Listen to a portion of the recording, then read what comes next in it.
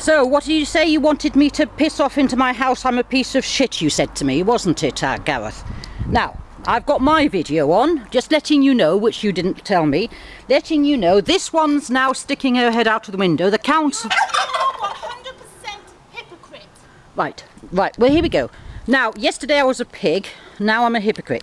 So now you've decided to Don't film me. Me. I do not want to speak to you. I don't like speaking to you, I don't want to speak to you. but you like to film me. one obnoxious, evil woman. Good. Well, it's all on video.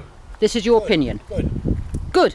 But I've told you I If you're on the- object. If you're on the video, it'll be X-rated because of your looks. Oh, well, that's on video too, so you'll have to explain that. I've told you I object to being filmed. To everybody, and stop this noise, or I'll get the police here again. You do that regularly, Gareth. I do it as often as I want to do. Yes. Yeah. Now you know what I done to your camera last time, don't you? oh, you do. Didn't- You're don't you? advancing on me. Mhm. You're advancing on me. You hit it out of my hand, yes.